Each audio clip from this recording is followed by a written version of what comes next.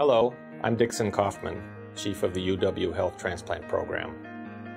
The video you're about to watch could literally save your life or the life of someone you love.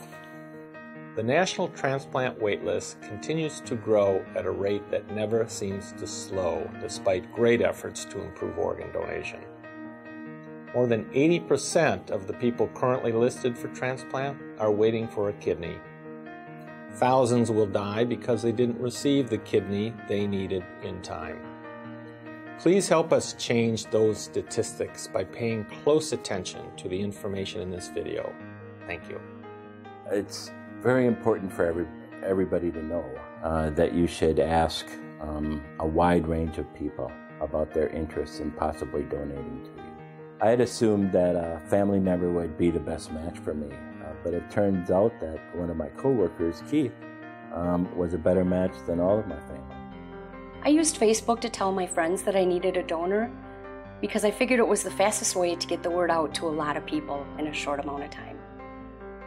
I was extremely honored that my son Brian was willing to make the sacrifice of donating a kidney to save my life. My family was unable to donate, and I really didn't know who to turn to. Consequently, my friend Julie turned to me, and she saved my life. I had somebody who wanted to donate but didn't match, so I didn't know what to do.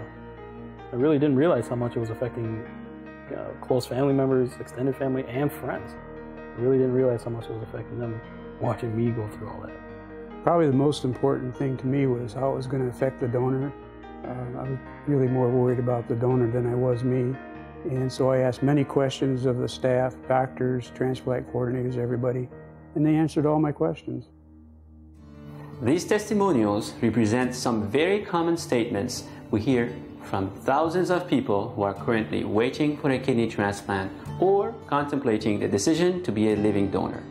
They, like you, are struggling with the fact that kidney transplant wait times are increasing both here at UW Health and across the nation.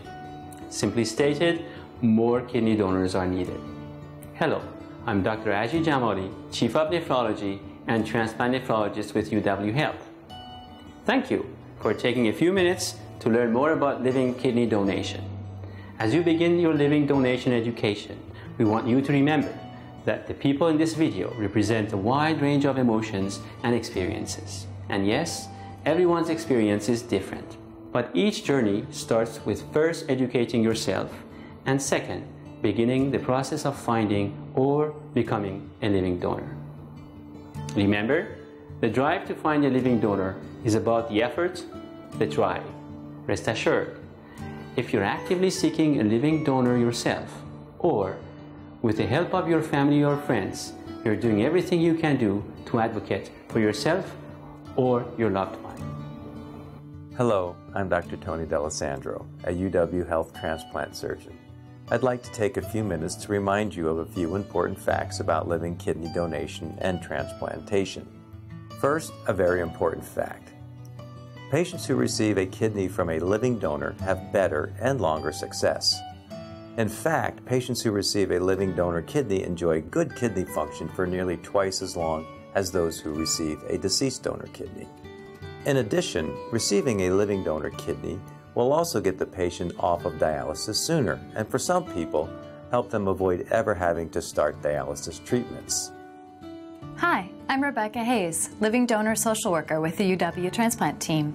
Perhaps the most important thing you can remember during this time is that there are many people going through this same experience. You are not alone. We know you worry about issues such as potential donor's blood type or if living donation will be a financial burden to a donor. But we have tools to help you figure these things out. In fact, we've created a living donor toolkit to help you on this journey. The UW Health Transplant Team is adamant about providing the highest level of care to all our living donors. It's our responsibility to carefully evaluate each potential living donor. Their safety is always the most important factor we consider. We all work together to educate each donor about the risks of living donation, and we answer all of their questions, and yours. Additionally, as the UW Health Living Donor Advocate, my job is to represent the donor's needs. I ensure that every potential living donor is donating a kidney only because they truly want to donate. please don't wait to bring up the subject of living donation with your family and friends. The longer you wait, the more sick you will become, which will reduce your chance of receiving a successful transplant. We ask that you actively talk to people about your need for a new kidney and give people a chance to learn more, understand more, and help you if they so choose. Asking someone to be your living donor or becoming a living donor yourself are important decisions, and we encourage you to take some time to expand your knowledge of living donation. Remember, our transplant team members are available to answer your questions. You will also find more information about living donation on our website at uwhealth.org slash living donor. If you're ready to speak to us about living donation, please complete the form on our website or call us at 608 263 1384. My daughter was my donor, and she told me she couldn't imagine her life without me. She is my only remaining parent, and giving her my kidney is not only keeping her around, but you know, it's also making me aware every day that I need to take better care of myself too. I just saw what was happening and uh, grabbed one of the brochures and talked to some of the other folks around the office and uh, you know just decided that this was somebody that was in need and I had the opportunity to help. I didn't know if it was going to work at first or not, but in the end it did.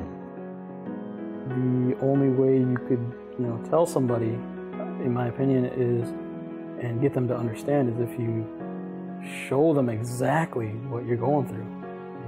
That's I think that's the only way you, you really just can't tell somebody. Thank God I, I talked to my family and friends about considering donation. One of them was a match, and I feel much better today because of it. Seeing the color come back in his face and his energy levels and all of that, it's just, um, it's made me realize that I would do it a hundred times again.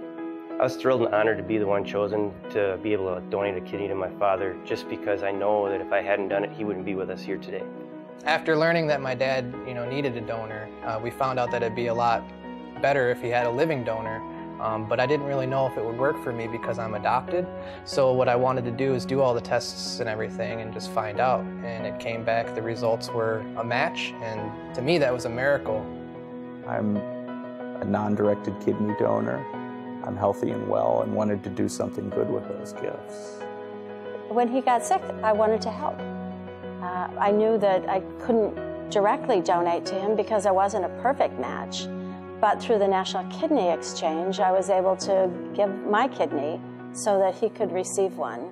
And in that way, there was no question about it because I didn't want to lose my friend. You know, he's a special person in life, and it was just not even a second thought.